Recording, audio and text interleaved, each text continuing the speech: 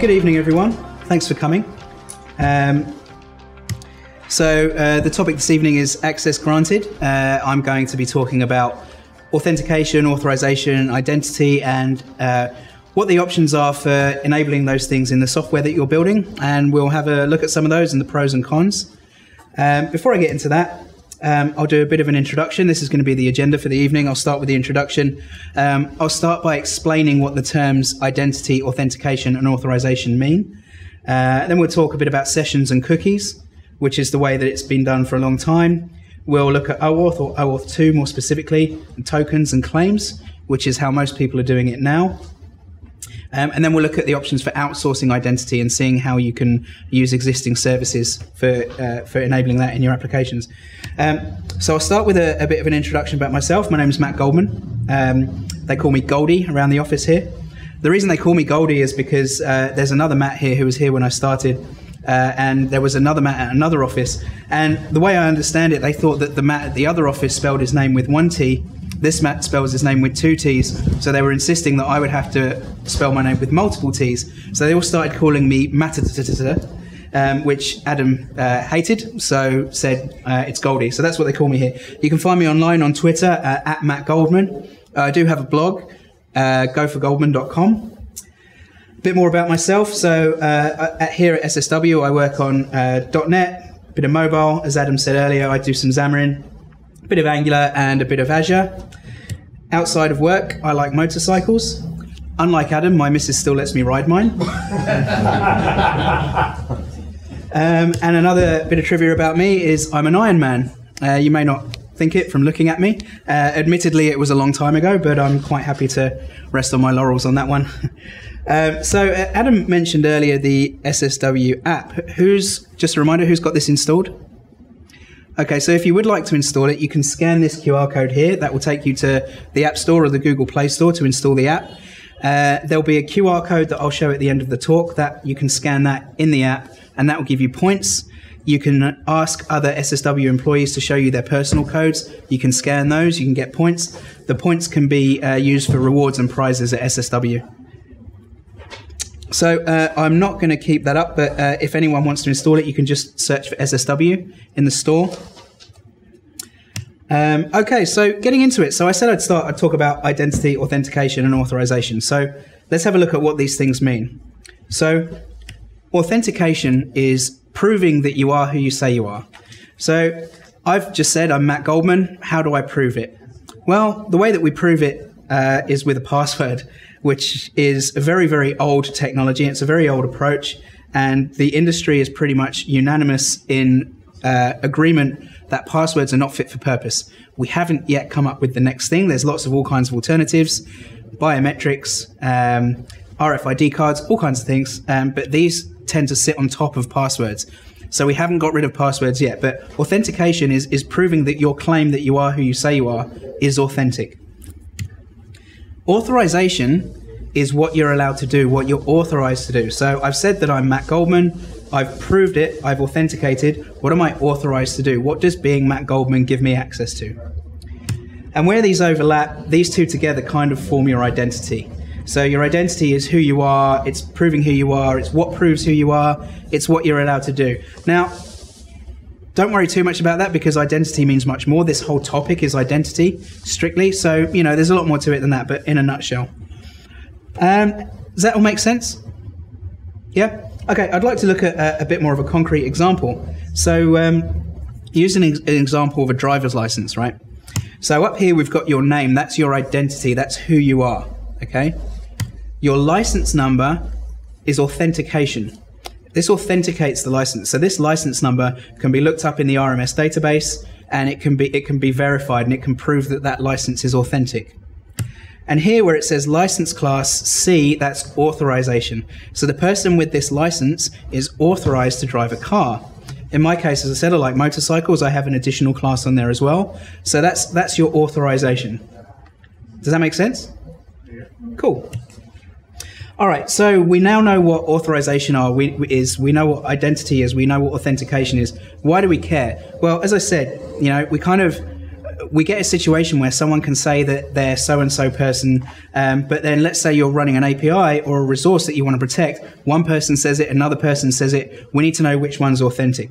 We don't want to end up in a situation like this. This is a tired old trope that we're all sick of. You know, oh no, I'm the real me. Kill, shoot him. You know, no, no, I'm the real one. Shoot him. You know, nobody wants to see that anymore. That's boring now. You know, we certainly don't want to see this. You know, we've had enough of all this stuff uh, shoot him, he's choking me. No, shoot him, he's choking me. There's got to be a better way. There's got to be a better way of authenticating people, proving that they are who they say they are. And it's certainly got to be a better way than this. Now then, gentlemen, trim your toenails.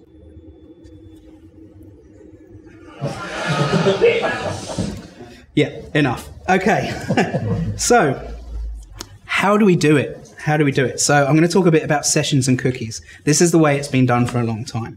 How does this work? Well, you start off, as you always do, with a username and password. You send your username and password to the server. The server authenticates that, verifies that you are who you say you are, generates that page there, and sends it through to you, and your browser then displays it. It also generates a session cookie and sends you that session cookie because then next time you want a resource from the server, you don't have to then use your username and password again. Your session cookie contains a session identifier. You just send the identifier to the server, it knows who you are, and then it sends you the resource you're looking for. The way that it does that is it also maintains state on the server side. So everything you do in the application is maintained on the server side as well. Maintains a copy of, it knows exactly what you're doing, who you are. It's an active session. The state is, is maintained. And that session cookie is maintained on the server as well. So that's how cookies work. Um, session cookies, I should say. Um, so what's good about session cookies? They're simple. They work out of the box. Um, we'll see an example of that. Um, you don't really have to do much to make them work if you're using Visual Studio, for example. Um, and cookies sound like a tasty treat. That's nice. Um, what are the downsides? Downsides are that cookies are vulnerable to something called a cross-site request forgery. Uh, that's a bit out of scope of this talk. I'm not going to go into what that is, but but basically it means that some malicious JavaScript running in a web page can hijack that session and use that session maliciously. And cookies are vulnerable to that. Uh, they're stateful. So as I showed in the previous slide, the server maintains state. So that means that an effect of that is that it's less scalable because it's maintaining all that state. Um, it means that there's, you know, it, it, it, incurs a performance overhead, which makes it less scalable. Um, and, you know, more jokes, we have to put up with this every time someone talks about cookies. We don't want to see that anymore. So how does it look? How does it work? Well, I'll show you. So I'm going to switch to Visual Studio here, and I've got an MVC app which I'm just going to fire up. Whilst that's loading, I'll just explain how I did this. So I have I've built some custom models here. I've done some custom stuff on the pages, but other than that, this is just a next next finish vanilla Visual Studio solution. So um, I'll tell you a bit more about myself. My background is in health. Before I was working at SSW, worked for a hospital for 10 years. So I thought for this demo, I had the idea of doing a, uh, a, medication management system. So this is very basic. As I said, this is just a next next finish Visual Studio. We can see here, I've got access to this menu. I can go to patients. I can create a new patient. Let's uh, let's put Adam in here. Uh, and Adam, as we all know, is very young, so I'll just give him a date of birth from last year sometime. And great, we've created Adam. So we can go in here, we can also do medications, um, and we can prescribe medications. We've got access to all this. Um, okay, so you can see that it says register and log in. So I can register for this application. I can log in, um, but it's not forcing me to. Uh, okay, well that's good. How do we make it do that? So I'll just kill this off. I've got another version of this one here um, where it's exactly the same, except I have made it use authentication. And I'll show you how that works. So if I were to open up one of my controllers, let's say this medications controller here, we all know, hopefully, we all know that you can go to a method. So let's say uh, this one here, and I can add this authorize on here like that. Who knew that you could do that? Yep, easy, right? That's very easy. You can do that. That will make it authorize that method. So anytime you hit that, it's not going to let you do it unless you're logged in. But that's probably not the way that you want to do it because really being logged in should be the default and it should be the exception to make you not have to be logged in. So you can do that by saying allow anonymous to allow someone not to be have to be logged in. And I'll just fire that up and show you how that works here. And whilst we're doing that, I'll show you how you enable that across the whole application. So using the middleware here, and just in my startup, all I've done is I've added this MVC policy here, and I've just said authorization policy builder require authenticated user, and now allow anonymous is the exception, and authorize is the default. Now I'm already logged in here um, because my session is saved. So I'm logged in here as doctor. If I just log out, you can see now that if I click home, if I click any of these things, because I'm not logged in, it's redirecting me to the login page. Again, I haven't done that. This is all just done for me out of the box. So if I just log in again, I'm logging in with a, an account that I've created here. And now that I'm logged in, I now have access to what I was going, going for. So again, I can get to the patients, I can get to the medications, and so on and so forth. That's really all there is to it. Um, I've created another dummy account here, which I'll just show you. Um, nurse at sswmedical.com. And I'm going to type in my super secure password. Okay, so I'm now logged in as a nurse. I can see some patients here. Let's add a medication. Um, I'm just going to add paracetamol because it's in there already. Okay, great. So we've now got a medication. Um, by the way, if there are any pharmacists or doctors or nurses in here this evening, um, if, if, at any point throughout this demo you see me looking like I'm going to prescribe a lethal dose to someone, please let me know. Um, so we've got we've got a patient, we've got a medication that's prescribed. Ah, okay. So I can't actually now get to prescribe medications. I can look at the prescriptions that are there, but I can't I can't prescribe a new one. Well, the way that that works is because if I look at my prescriptions controller here, yes, I've got authorize across everything across the board now. Um, but what I've done is I've put this where it says authorize roles equals doctor. So now for the create method, and this, by the way, is uh, because it's MVC, this is the method that returns the view. This is the actual method where the data gets posted to. Both of those I've got authorized, roles equals doctor. So now I've got user logins enabled, I've got uh, passwords, and I've got roles, and this is all just done with me having to do next to nothing. So that's all pretty straightforward, right? Okay, so we've had a look at that. Uh, slide. So we've had a look at the demo. We've had a look at uh, we've had a look at MVC. We've had a look at how it works using sessions and cookies. Um, let's look at how it's done now. So as I said, it's now done with OAuth tokens and claims. I'll show you a little bit about how that works. So to start with, it's a username and password, as it always is, right? You send your username and password to the server. This time, the server doesn't generate the page for you. It doesn't generate any views. What it does is it generates something called a token. In this case, it's a JSON Web Token. And this, by the way, is the actual official logo of the JSON Web Token. Um, and it sends the token back, right? So now you have a token stored locally. And when you want to access data, you send, for example, here an HTTP uh, GET request, and you attach that token to the request. That goes up to the server. The server looks at that token and it validates it. It says, yes, that token is valid. It then returns data.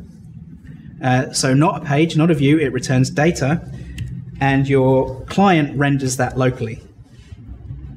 So, we're going to talk about JSON Web Tokens. I just want to be clear that uh, the OAuth 2 standard doesn't require that you use a JSON Web Token. There are, in fact, other kinds of token that you can use but you'd be very unlikely to come across those ever. Uh, no one is really using any other kinds of tokens, but the standard doesn't mandate, doesn't prescribe, if you will, that you have to use a JSON Web Token. So this is what a JSON Web Token looks like. It's basically a, a base 64 encoded string. In fact, it's three base 64 encoded strings separated by a dot. Does anyone not know what base 64 encoding is? Great, I don't need to spend any time talking about that. So a JSON Web Token is made up of three parts. Firstly, you've got the header, and then you've got the payload, and then you've got the signature. Okay, so the signature is important because this token is not encrypted. It's signed, but it's not encrypted. So I said it's base 64 encoded. You could, by the way, this is just gibberish. This isn't a real uh, base 64 encoded string. It wouldn't fit on the screen if it was. Um, but if you're using a real uh, uh, JSON web token, you could actually put that through a base 64 decoder, and you would actually be able to read the raw JSON that's in there. Um, and that's what it looks like.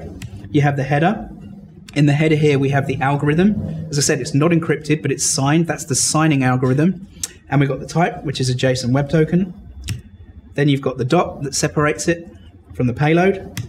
And then you've got the payload. So the payload is the real uh, meat of what a JSON web token is. It's th- this is the important part. The payload is made up of what's called claims. So there are some kind of standard claims. There are some well-known claims that aren't necessarily standard, and then you can have custom claims. So the claims that you would you would nearly always have in a token would be the subject, where you you would always have a subject. Um, you might potentially have the name of the person or the name of the resource. Uh, you would have an expiry, so the token will expire after a certain period of time. What you can do when it expires is you can send someone their JSON web token, which contains your claims. So you never put sensitive data in a claim because, as I said, it's not encrypted, it's human readable. So you, you put your data in your claims. You might give someone this token that expires. You can configure when it expires a day, a week, an hour, and you give them something called a refresh token.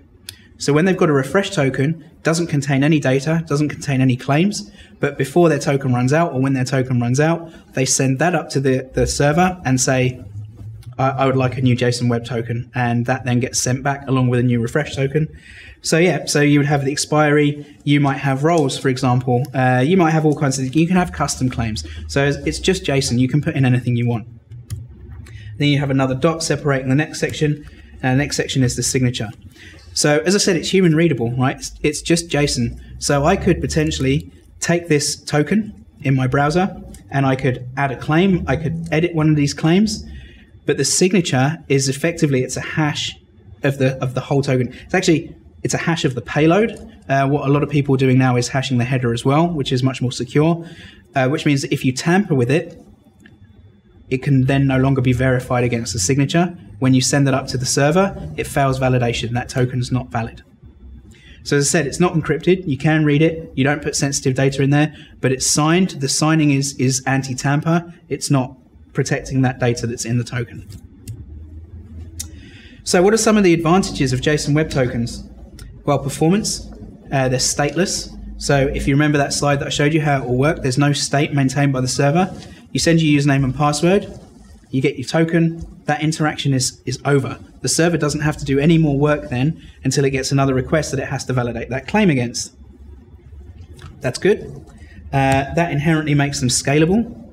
Um, so because there's not that performance overhead from maintaining state, they're more scalable. They then support single page applications. We're just sending data, we're not sending state. And that means that they, of course, support mobile apps. Well, there's got to be some downsides, right? There's got to be some downsides to JSON Web Tokens. Well, yeah, they don't sound like a tasty treat.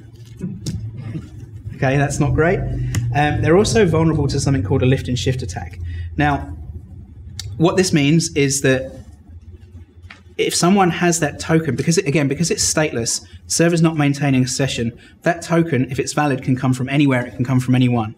So if someone were to get that token, uh, they could send it to the server and attach it, and they would they would get that data back. Now, this isn't really a huge concern because the way that tokens are usually dealt with is they're stored in local storage in your browser. Um, if someone has access to your local storage, you've got bigger problems already. Um, but to mitigate this, the way that uh, Auth0, Auth0, by the way, uh, uh, a private company, they don't own uh, JSON Web Tokens or any of this standard, but they are the biggest contributor to it. And the way that they're defining the best practice for this now is you don't store the token in local storage. You just keep it in memory for the duration of the session, and you store the refresh token. So every time your application starts, it gets a new token. So it's not really that big a deal, but that's that's the risk with JSON Web Tokens. All right, let's have a look at how that works. Um, so if I just move across to Visual Studio, and I will look at the next application that I've got, which is, let me just close these off. And I'll just start this one up. So this is again the same application, but here I'm doing it as a single page application, so not using MVC. Uh, and I've got a client that I built in Angular, which I will show you now. Uh, and let's just see, let's just see if that will run. It will, obviously. Um, and whilst I'm waiting for that, I might just show you how this gets enabled in here.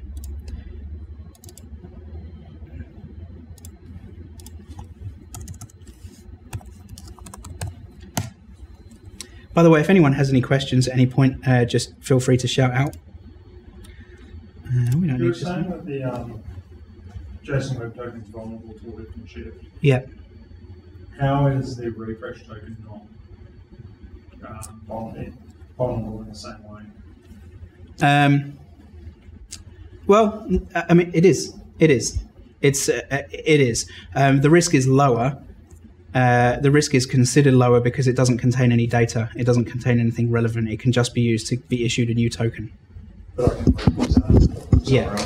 Yeah. So just to clarify the question, um, sorry, one second. The question that Liam asked me then was if the, the token is vulnerable to a lift and shift, what is it about the, the refresh token that makes it less vulnerable? The reality is it isn't. So um, so as I was saying earlier, the way that, that Auth0 are doing it now as a best practice is to not store the token in memory uh, and just store the refresh token. Yeah, uh, from technically, I suppose it is better um, it, because there's only one thing that's vulnerable to being attacked then, and not two. But realistically, anything that's stored in your browser local storage, if it's vulnerable, if someone's got it, they've got it. You know, they've got you. Did you have a question? Oh yeah, so doesn't isn't local storage um, vulnerable to cross-site as well? Uh, so, what's your name? Sorry, Joseph. Joseph. So Joseph was asking, isn't local storage vulnerable to uh, cross-site uh, forgery as well? Um, mm, I don't think so. Um, I mean, it may be if, if there are ways and means it could be. So if you had something, no, because you would have to you would have to write some malicious code that you would then execute that you would you'd still have to take control of the session in order to then get access to the local storage so i don't think so i could be wrong but i, I don't think so and i think because of that reason It can be read through JavaScript. Yes, it, it, it can. Um, but uh, so uh, Joseph was just saying local storage can be read from JavaScript. Of course, that's that's how it's going to work in this in this demo that you're going to see shortly. But the the local storage is associated with that application. So so you would have to be able to hijack the session in order to get access to that application, which you can't do if there's no session. Right. A- again, I, I'm not going to put my hand up and say that is 100% correct, and I may be wrong. Um, but but as far as I'm aware, that that's what protects it from that. Uh, given the Uh, given the the discussions which, which we just had, uh, isn't it um, like the use case for this JWT would not be just server to server kind of an integration where the server both the sides are secure and Um, so what's your name, sorry? Nikunj. Nikoj. Yeah. Um, so uh, the question from Nikoj was um, Would the case for the token not just be server to server communication where both sides are already secure? Yeah. Yeah. So, um, yes, uh, uh, that is a use case. So, it's certainly user authentication when you want to protect resources that users have access to. But also, yes, server to server communication. We're going to talk about that a bit later on as well. So there's actually something called OpenID Connect, which is a, a part of the OAuth 2 standard. And that allows secure resources to talk to each other and exchange information about a user securely. So, yes, that, that's absolutely part of the use case. And uh, I'm really so this is a very big topic. Topic. It's very broad. I'm not going to be able to cover everything, but uh, uh, there's actually two types of tokens, uh, JSON Web tokens. There's an identity token and there's an access token. In these demos this evening, I'm using one token to do both. But a, a more secure way of doing it, more secure way of doing it, is when your authority gives you a token, it doesn't give you, it doesn't give you claims that give you everything that you can do. So in in again, I'm not going to talk about it this evening, but there's something called scopes, um, and most of the OAuth standard is built on scopes, and that's what you can access. I'm looking at claims, and with claims, I'm going to be talking about roles a bit because I showed you the nurse and doctor. Um, but in your in your ID token, you wouldn't have any of that if you if you're doing it really secure. You would just have an ID, and then when you want to access a resource, the ID token would then be sent up to the authority. The authority says, here's the access token that corresponds to the user that that ID token represents. And that access token defines or can be interpreted by by the server, the API, whatever, to interpret what resources it can give that user access to. Does that does that make sense? Yes, kind of. Kind of. Yeah. yeah. Okay. Like I said, it's a bit out of scope of it, it, it but but the brief answer to your question is yes. Thank you. Um, okay, so I've got this demo up and running now, but uh, before I dive into it, let's just have a quick look at what I've done differently here. So, if we look at my startup, I've had to add a couple of bits and pieces here. I've added this uh, Microsoft Identity Model tokens. It's a NuGet package, but it is it is uh, it is a Microsoft NuGet package. It's open source, and the biggest contributor to this NuGet package is Auth0. Um, but it's a it's a Microsoft token uh, uh, package.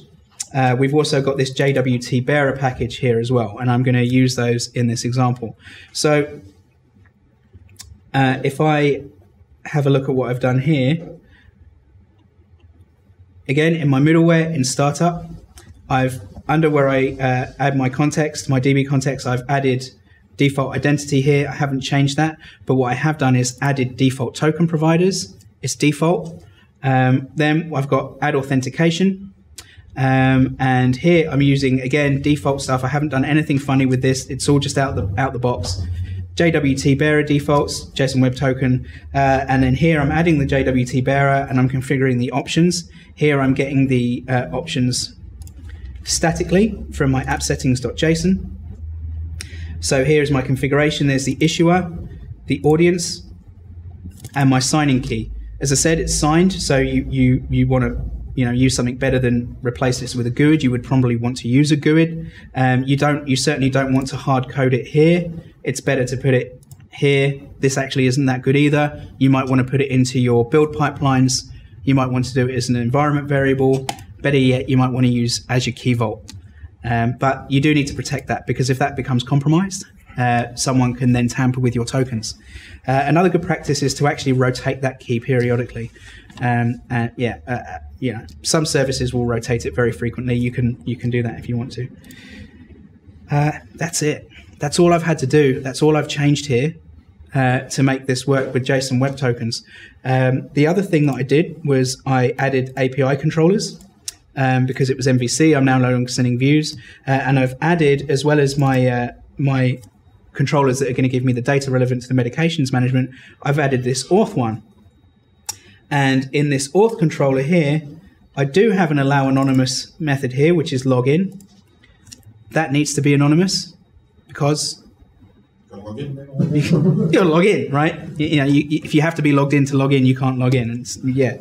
Okay, so that's up and running now. So I'll just show you what that looks like. Uh, I'm going to use Postman here. Hopefully,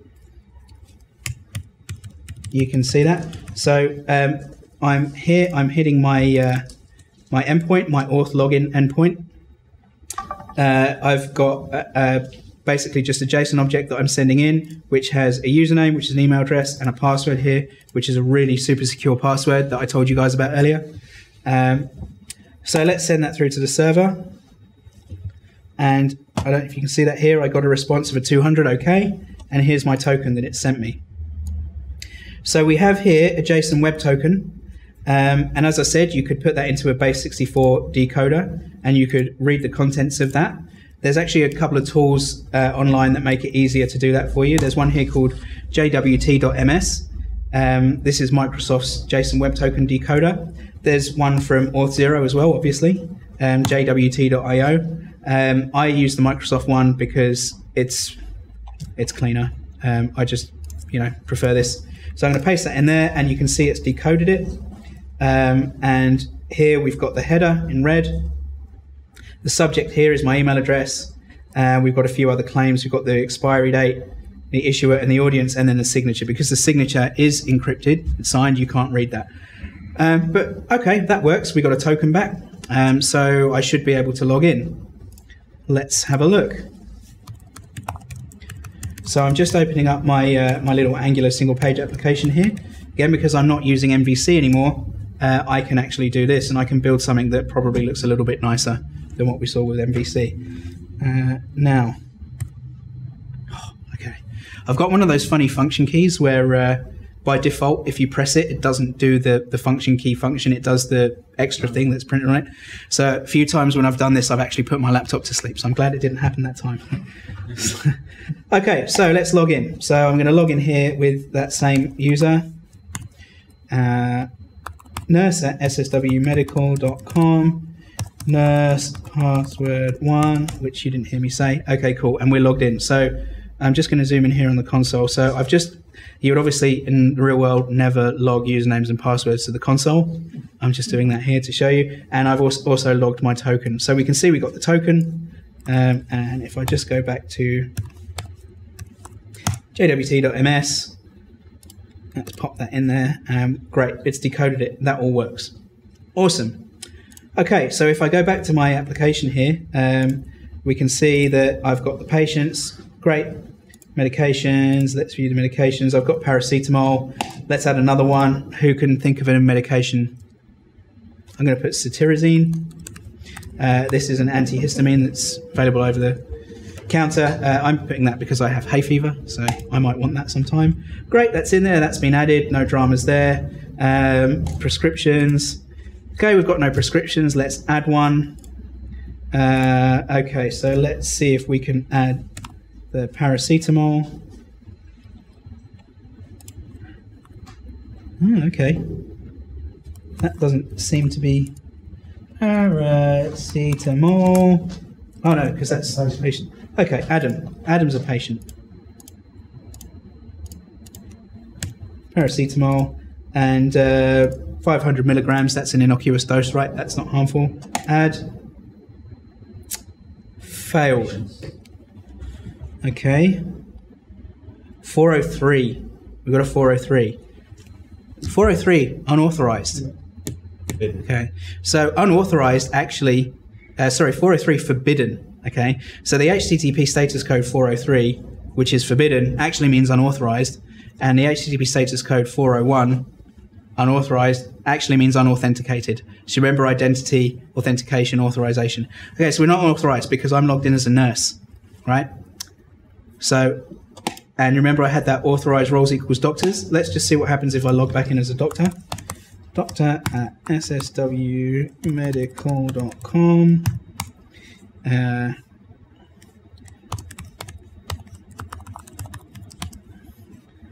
log in. Okay, cool. Let's just see if I can. There's no prescriptions, as we know. Uh, patient Adam, medication, paracetamol, dose 500 milligrams. Yeah, cool. Done. Okay, so that worked. And uh, if I just grab it, oh, if I just grab this token here, we'll just have another look uh, at what's in this token. And we can see here, there we can see I'm the nurse. Okay, cool. All right, well, that's all good so far, right? That wasn't a particularly good experience, though, was it? Because when I was a nurse, I could go to the prescriptions here and I could view all this stuff and I could click add, but it didn't let me do it. So there's got to be a better way than that, right? Well, let's have a look. Sorry, was there a question back there? Nope, cool. All right, so if we have a look at this auth controller, we go down here, we can see that when I generate the token, so sorry, this login method here, when you log in, you send up that that DTO, which I showed you in Postman. There was just an email address and a password, uh, and you get a sign-in result. I call a method here calling generate token async. So I did actually write this method, but again, there's nothing in here that I'm doing that's fancy. Uh, I, it's JWT security token. I didn't create that. That comes again out of that NuGet, NuGet package, uh, and I'm adding some roles here. So I'm adding some roles here, and they're getting added as claims, and then generating the token, and I'm sending it back. All right, so how does that work this side? Well, in my single page application here, um, if I have a look at my login component, uh, you just log in. Um, by the way, sorry, this is an Angular. As I said, this is an Angular single page application here, so I am going to gloss over this a little bit. Um, this calls a service, which is a user service. Um, and again, using this, I basically send I send those details up to the server here, uh, and then when I get the token back, I save it in local storage, which is this line here. Okay, so let's see if there's a better way of doing that where we can actually use those roles on the, on the client side as well. So I have got another version of this set up here, which is more or less the same, except as you can see here, it's called Role Guard. So this one has a role guard built into it as well. Uh, so again, this is uh, a bit off topic here, but I'm using something called can activate that's added to my router in, in Angular. And basically, I'm calling here and saying if the role if the role in the token payload is not equal to the expected role on that route, uh, revert them back to this unauthorized page, or you know otherwise let them go ahead. Um, and that's just done here. I've just added this role guard service onto my route here, and uh, for this route, which is for adding prescriptions, I've said the expected role is doctor. And for this role here, which is administering medications, I've said that the expected role is nurse. So I'm just going to fire that off. Are there any questions so far? Good stuff.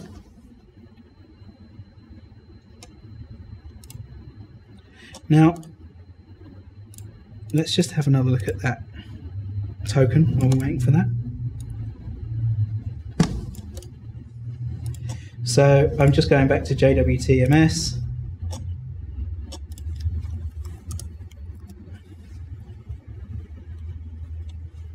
Has anyone spotted any problems so far? There's no role.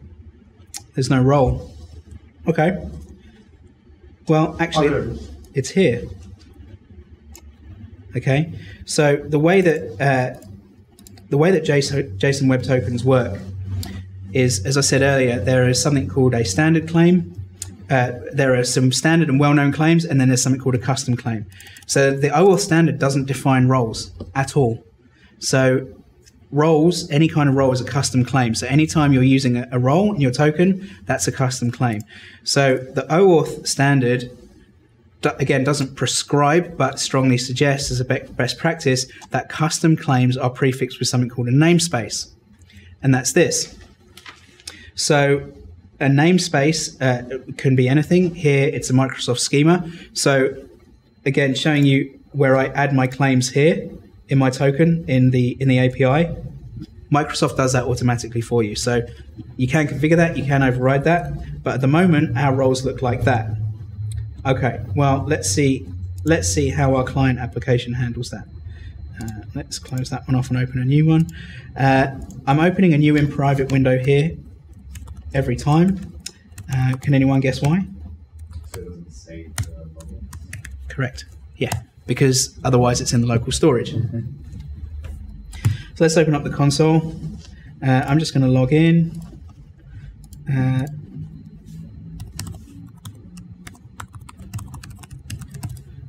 uh, okay, so I'm logged in as nurse.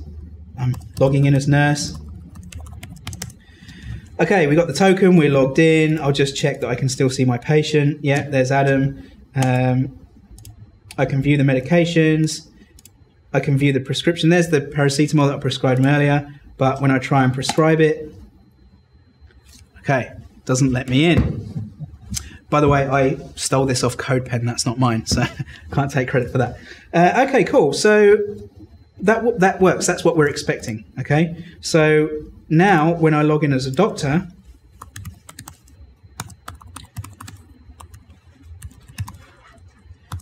doctor password one, nice and secure. Log in. We can see all the things. We can see the prescriptions, and when I add the prescription, I get the same thing. I get the same problem. And I'm just going to zoom in here on the console. So right down here at the bottom, uh, I've got my role guard that I told you about earlier logging, and you can see here expected role is doctor. The actual role is under, undefined, and that's because, as Liam said, uh, I'm looking for a role of doctor. Again, if I go back to my route guard here, I'm looking for a role of doctor. What I'm getting is this namespaced claim here. If it just said role, it would work. Okay, maybe there's something we can do about that. I'm going to come back to that a bit later on. So there might be there might be a way we can fix that up. But uh, yeah, so that in a nutshell is how JSON Web Tokens work. Um, any questions about that so far? Still pretty easy. We're still not doing anything particularly difficult, right? It's all out the box stuff. Uh, everyone feel confident? Who's done all this before? Uh, most of you, right? It's, it's pretty pretty straightforward. Um, so just a quick recap about the signing key.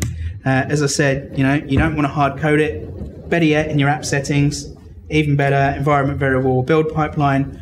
But best yet, Azure Key Vault, right? That's for the win. Okay, so so far we've had a look at uh, an MVC app uh, using sessions and cookies. We've had a look at the same app but as a single page application using JSON Web Tokens. Um, and I'm still handling that authorization and authentication with my API. It's all built into my API. So, what are some other options? You can outsource it, okay? You can outsource it to someone else or you can outsource it to another service that you build yourself. Well, how would that work? So, you might uh, remember me earlier mentioning the word authority. So, an assigning authority is someone that issues a token and validates it. That doesn't have to be your API, okay? So, the way that that works is it starts, as it always starts, with a username and password. So, you send your username and password to an authority. This authority generates a JSON Web Token. It sends you the JSON Web Token, and now you make your HTTP request or whatever it is to access your protected resource and you send it with the JSON Web Token. Your protected resource, which in this case is an API, sends that token to the authority and says, Is that token valid? The authority says yes or no, and then it's all over. Uh, but it says yes, and the API says, Cool, here's your data, uh, and then you render it locally. That's nice, right? So, why might you, is there a question at the back? Stretching your wrist? Cool. All right. So, what might be some reasons that you want to do this? Um, one of them would be clean architecture. Uh, by the way, who here is, is going to the clean architecture superpowers? Cool. Who who's heard of it? Yeah. So you guys don't know about this. I suggest you look this up. It's it's really really cool. Um, I'm not going to bang on about it now, but if you've got any questions, look on SSW TV, look on the SSW website. Uh, but this is this is Jason Taylor from from SSW. He will explain. Um, uh, what clean architecture is, how you separate out the different bits of your application to do the different things that they're supposed to do. So you can move, you know, from a clean architecture perspective, you don't want your API and everything just, just doing the one thing and, uh, you know, all of it, the one thing doing all the things, right? So you want to move it somewhere else. And that can be just another uh, service that you run yourself. You can outsource it to some some third parties. Uh, I mentioned Auth0 earlier. We're going to look at B2C in a minute as well. Uh, that's Azure, uh, Microsoft Azure AD B2C. So that's one reason. Um, another reason is risk, right? So security is a hot topic. Uh, you know, if you're doing security and authentication, that means anytime there's a vulnerability disclosed, anytime that there's there's any kind of uh, flaw in the security uh, that you're using, you have to update that, right? Now, of course, as good developers, we all keep our packages up to date all the time anyway, right? You know, if there's a bug, a flaw, we keep them up to date. But the point is, you do you still have to do that. There's no getting away from that. But if you take a part of that that's a really important part from a security perspective and give it to someone else, that then becomes their problem, and you're you're decreasing the surface area of things that you're responsible for. Because you know, if there's a problem with security, lots of things can go wrong. You know, nobody wants to end up on this guy's website. Yeah, no one wants to get shamed by Troy Hunt. That would just be bad. Yeah. As I said, security, it's a hot topic. You know, like, granted, a couple of years ago, it was much bigger. Uh, February 2018, there was the notifiable data breaches scheme that came in. Does anyone remember that? remember that? This was an extension to the Privacy Act. This came into effect in February 2018, which meant that if you had a security breach, under certain circumstances, you're legally mandated to report that potentially publicly, certainly to the uh, Office of the Information Commissioner. They had a similar scheme in New Zealand. I think it was called the Breached As scheme. Uh, okay, so let's say you've decided to outsource uh, your authentication. What are your options? Well, you can you can use ASP.NET Core. Um, everything that I've showed you so far is ASP.NET Core. I'm not using anything fancy, uh, and it just works out the box. But what you can do is you can take that out of your API, put it in another service layer. Um, you can even you remember what I said earlier about having an authority that's separate? if you've got multiple applications, you know, and you want to have a single sign-on, you want to have one identity that can access all of those, you could have uh, as you could have something running that you build using ASP.NET Core that just issues and signs and validates tokens, and you can have your multiple applications all authorizing against that, all authenticating against that, um, and that gives you your single sign-on experience. And again, it said you know just out the box, it makes it nice and easy. Yeah, let's say for example you want to build the next Atlassian and you want people to log into your Bitbucket and your Jira and, and all the other things that that um, Francis is it the front here uh, never wants to hear me talk about again. Uh, uh, you know, or you might want to build a, a, you know nice company that makes nice things. I don't know, but you, you know that's the reason why you might do that. So you can do it with ASP.NET Core. Um, it's free, right? You're using your existing skill set. Um, some of the downsides, though, is uh, it is internally owned risk. Still, you don't get the benefits of making it someone else's problem. Um, and there are no. I've said here there's no client SDKs. What I mean by that is there's no client libraries. There are no native client libraries for ASP.NET Core authentication. There is something from Microsoft called the Microsoft Authentication Library. That's a wrapper for all of Microsoft's authentication protocols, methods, techniques, endpoints. They're all wrapped up in this one package. Um, but the other options we're going to look at actually have client libraries specific for them. There's also no built-in user flows. So by that I mean Remember my M- MVC app? I showed you a login page and a register page. I didn't build those. Didn't, they're out the box. When I showed you the single page application, I had the login page. I had to build that. Okay, not a big deal, but you also have to do things like password reset, email verification, um, all those other things as well. So uh, that's one of the downsides. You have to build that yourself. So another option, identity server. Uh, who here has heard of identity server? Who here has used Identity Server? Who here is using Identity Server? Yeah. Yeah, Identity Server is good. I like it. Um, it gives you, it's free, you know. Um, it's got those user flows built in. Unlike some of the other options we're going to look at, it doesn't force you to use those build those user flows. So you could still build your own login, uh, password reset, um, sign up, all that stuff if you want to. Um, I say new skill set. I mean, it's all part of the same thing, but it is a whole other thing that you now have to uh, look after. Um, it's an additional management overhead, um, so you do still have to keep it up to date, like I said, um, and support is paid, so you have to pay for support. Um, so it's not it, it's free to use, but if you have any problems, you have to buy support. So Auth0, I've mentioned Auth0 a lot. Who here is using Auth0? Who here has used Auth0? Okay, Auth0 is nice. Um, Auth0 have contributed most of, uh, of the code to uh, and the specification to OAuth and OAuth 2. Um, it's free for up to 7,000 users a month. If you're just doing logins, it's very easy to use. Um, in fact, other than just you know setting up out the box with ASP.NET Core, is probably the easiest. Um, it does have the user flows and it has client libraries. It has client libraries for Java, JavaScript, .NET, a few other things. So those client libraries are all there. Um, the downside of Auth0 is that the core features are not available on that free tier. Um, so the, the stuff that's other than just logging people in, like you remember, we've got the doctor and the nurse. You can't do that on the free tier. Actually, sorry, you can now. Um, you used to not be able to, but you can now. Um, but it's not easy. It's not easy like just doing the login stuff. It's not as easy as it is doing with .NET. What else? Azure AD B2C. Azure AD B2C is free for 50,000 users a month. So if you are building a consumer facing application that you just need people logging in with, this is probably a good option. Um, and also, by the way, sorry, um, with Auth0, once you go over that free tier, it does get quite expensive quite quickly. Whereas uh, with Azure AD B2C, it's much more of an incremental step in the pricing. It has the built in user flows. Um, so the login, sign up, email verification, forget password, that's all built in. It's Azure integrated, uh, which means that if you're building an enterprise application that's going to be managed and owned by an internal IT department, they like it. Um, it does have some limited functionality. That's the built-in functionality. It is extensible. You can do quite a lot with it, and we're probably going to have a look at that. Um, but in terms of what it does out of the box, it, it's it's it's limited. Uh, depending on your skill set, you may find it easier to extend that functionality in B2C than you do in uh, Auth0. With either of them, you can you can extend that functionality in a number of ways. Uh, but with Azure AD B2C, you can use your existing .NET skills, which you can't really do with Auth0. You would have to use, for, again, for the extensibility stuff, you would have to use an entirely different skill set. Uh, what else? Okta. Who's using Okta? Did you shake your head in horror?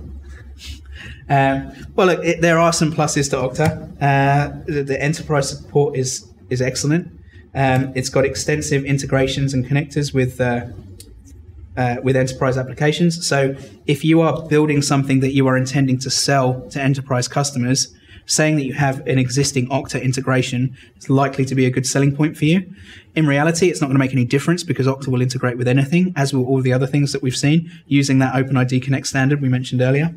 Um, but you know, a lot of, a lot of companies might you know not know that, and they might see it as part of their evaluation criteria. Oh, well, we're using Okta in the enterprise, single sign-on enterprise product. We've already got it. They integrate with it. That might be a reason to go with Okta.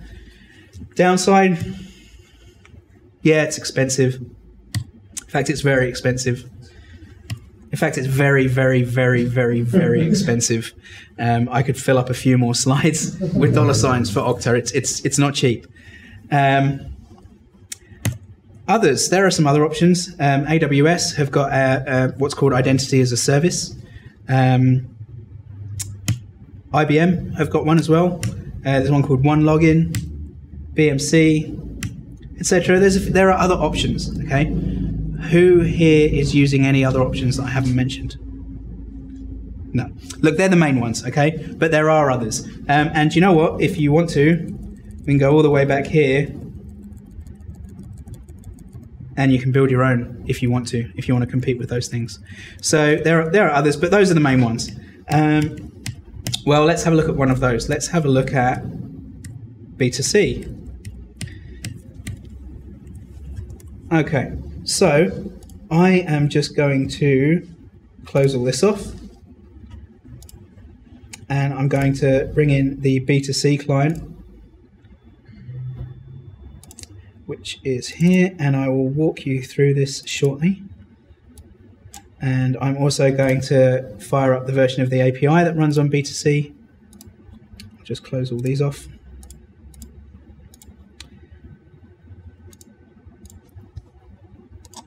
Um, so I'm just starting up this one. I'll fire that up. And while we're waiting for that, I'll show you what changes I had to make to this to get it to work.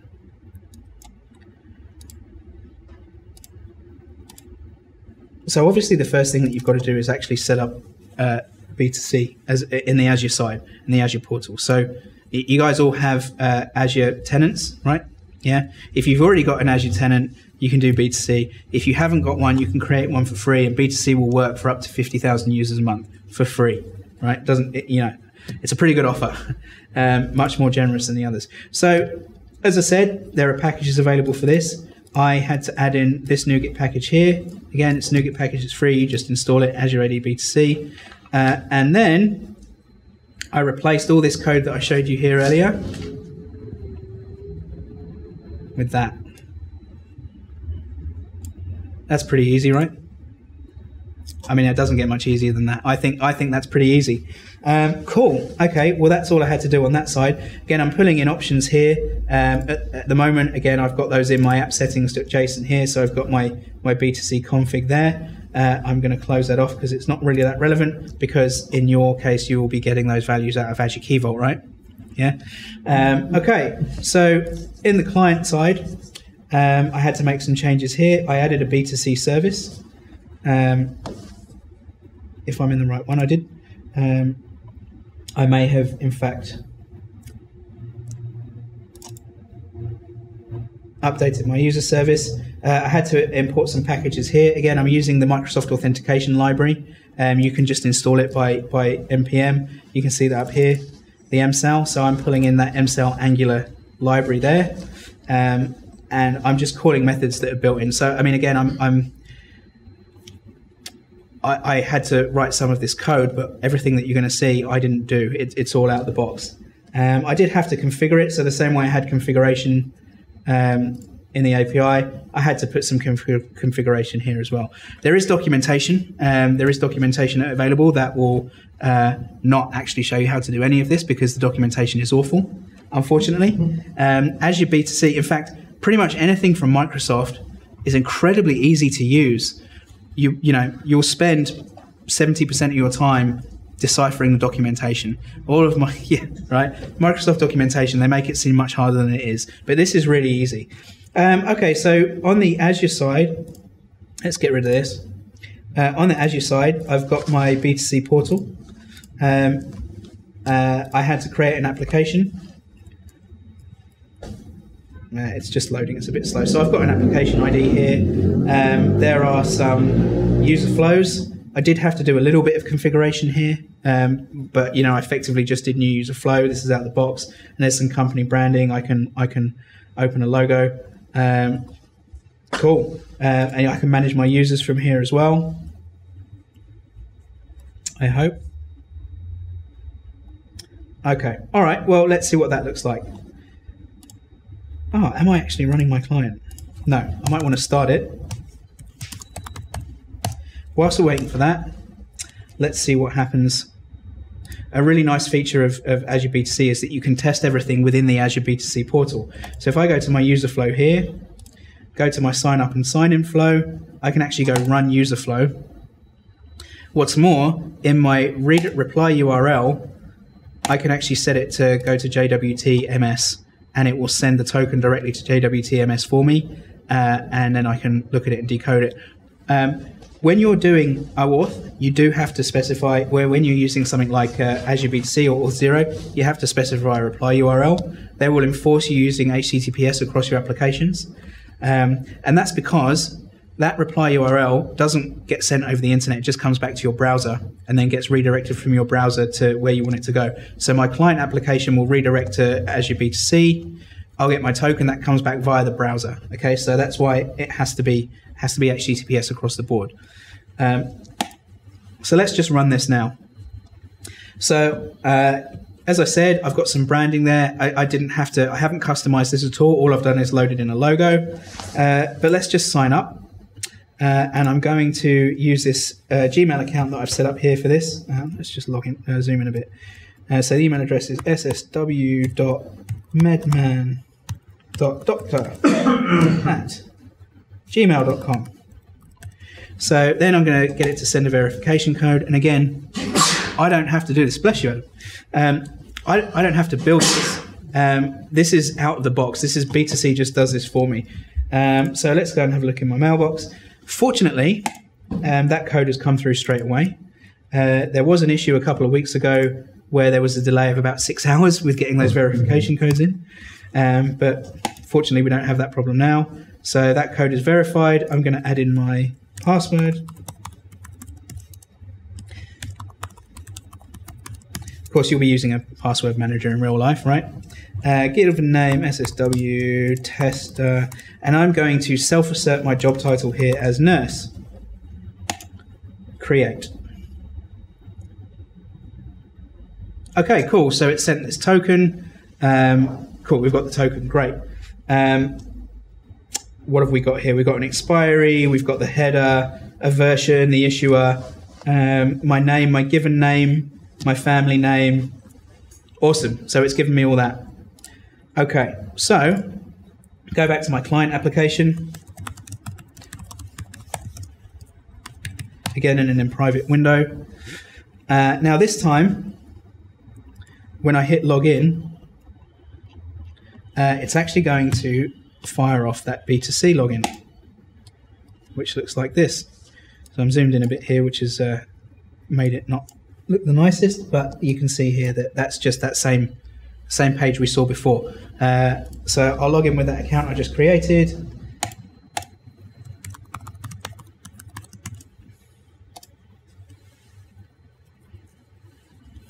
Okay, so I'm logged in. I have my token. Um, I can see my patients. Cool, there's Adam. I can see the, the medications. Uh, and okay, I can prescribe, but I did log in as a nurse, so we don't expect that to work right now. Okay, in fact, in fact, we wouldn't expect that to work even if my role was doctor, right? Because if I go back to B2C, okay, great, I've got the job title, but where's my role? So if I look at my user attributes, There's no role. Okay, not ideal, right? Not ideal. Well, as I said, Azure B2C is, is actually extensible. So you don't have to use those built in user flows. You can create your own. If I go to this uh, identity experience framework here, I've got my custom policies. Okay, so the way that these work is you download some XML from Microsoft. They, again, you get it from their GitHub. You download the templates for these. The XML defines the, the flow and the steps in the process. It doesn't define the UI. You can change the UI. You can everything that I showed you is, is what, what's in the box from B2C. You can create custom HTML and CSS. You store that in static storage somewhere. You tell B2C to get your templates from that static storage, and that will give you some nicely more customized login screens. Um, but you don't have to use those. You can use the built-in ones. And these here effectively just uh, just change that step in that process. So let's have a look. Let's have a look at what happens when I do that. Uh, in fact, let me just make sure. Yeah, okay. So these are the custom policies.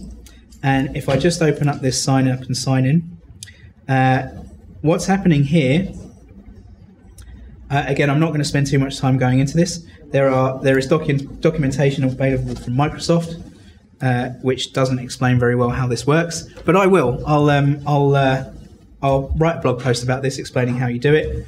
Don't have much time now. The first thing I had to do was in the claim schema, I had to define a custom claim type. Do you remember I said that roles are not a standard claim type? They're a custom claim type. Great. So I've defined one called role. Okay, and then uh, I've got a step down here, this REST API one, where I'm calling an Azure Functions webhook, and I am sending it an input claim of job title. Remember, I self-asserted my job title.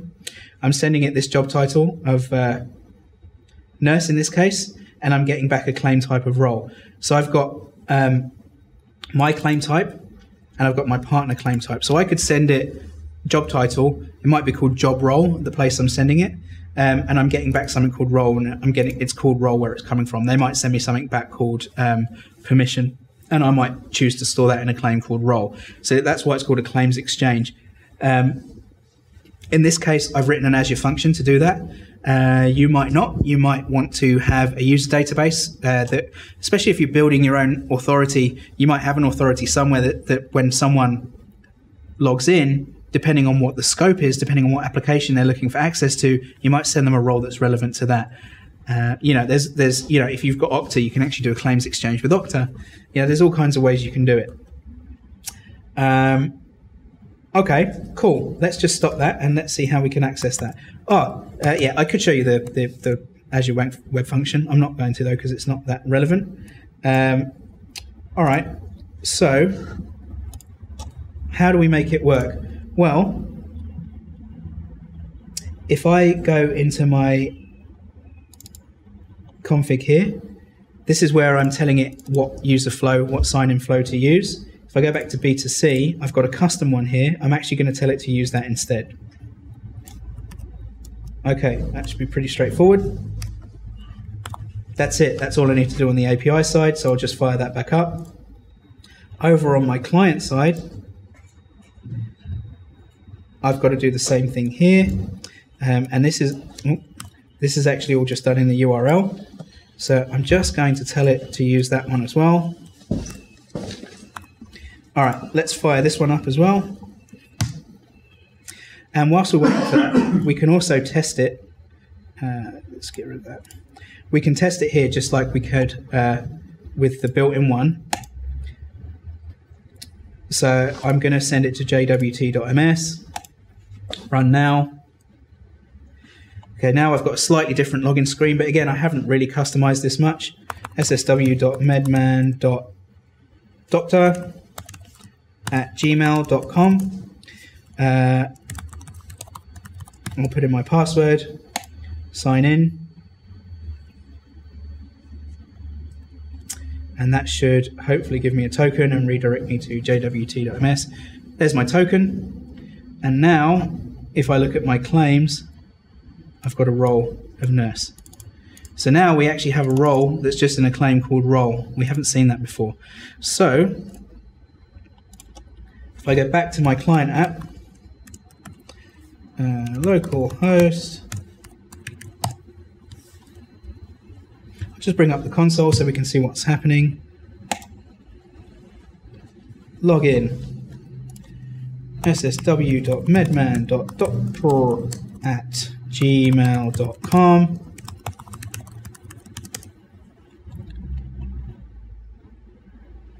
Okay, I'm logged in. It's giving me a token here. Uh, so just make sure everything's working. Okay, I'm getting data back from the API. That means that the flow that I'm using to log in is the same flow that's protecting the API. They have to match. That's all working. Um, if I go to my prescriptions, okay, we did see the role was nurse, so that should still not work. Okay, no worries. What we can do now is go back to the B2C portal. And if I go to users, I should be able to find that test account I created. Uh, and here, where I've got the job title of nurse, I'm going to change that to say doctor. Save that. And if I log back in now, ssw.medman.doctor at gmail.com, password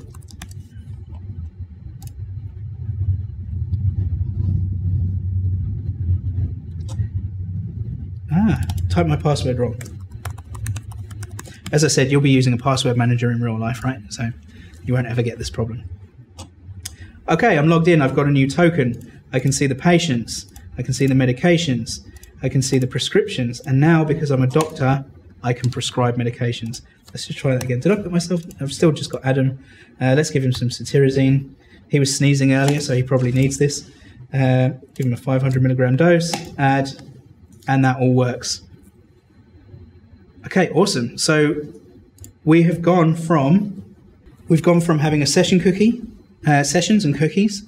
Then we've moved to OAuth. We've had tokens. We've seen how with those tokens they're namespaced with the roles. Roles are a custom claim; they're not a standard claim. Uh, and then we've gone through using those roles on the client side, but then they're not working because of the custom claim, because of the namespace. I've then gone to B2C, Azure B2C, and I've used a claims exchange to customize that login process to give me a custom role, which then allows me to give a better user experience because then on the client side, you don't just get a failure from your API, you can actually control it at the route level and you can only give people access to the things that they're supposed to access. So we've gone from the old school way to the new school way. And personally, I'm quite happy with how that turned out. Um, so thanks again, everyone, for coming. Um, if there's any questions, please let me know if anyone wants to ask anything. So uh, the question was from Sarah. Uh, the question from Sarah is, can I give a brief overview of OpenID Connect? Uh, yep. So uh, I didn't really have time to dive into OpenID Connect, um, but uh, OpenID Connect is, is, is a part, it's a fundamental part of the OAuth 2 standard. Um, what that actually lets you do is it allows resources that are protected it allows an authority that a user can authenticate against to protect resources in another authority. So it allows you to securely exchange information about a user. What that means, for ex- example, is if, let's say, let's continue this example, right? So I've got a doctor that can log in, I've got a nurse that can log in. Let's say I'm a patient and I want to log in and see what I'm prescribed as a patient.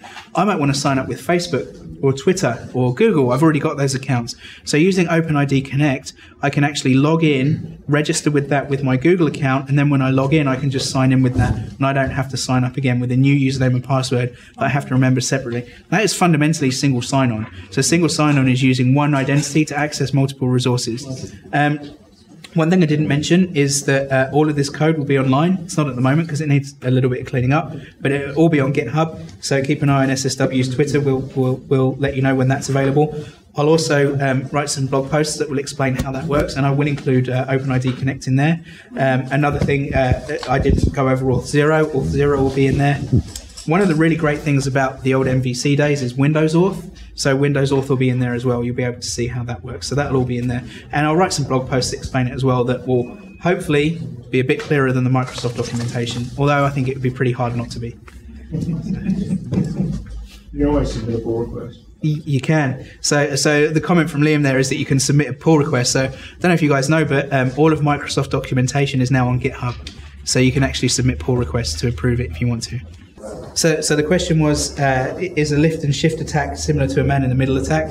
Uh, no, no, it's not. So it, it, it's so a man in the middle attack. Uh, cross-site uh, request forgery is more like a man in the middle. A man in the middle is where someone intercepts your communication, grabs the data, and then uses it maliciously. Um, that's why, as I said, you have to use HTTPS for your redirect, so that someone can't do a man in the middle. Lift and shift is is man not in the middle. That that man is actually at your end, right? They're literally not in the middle. They're they're where you are. Thank you.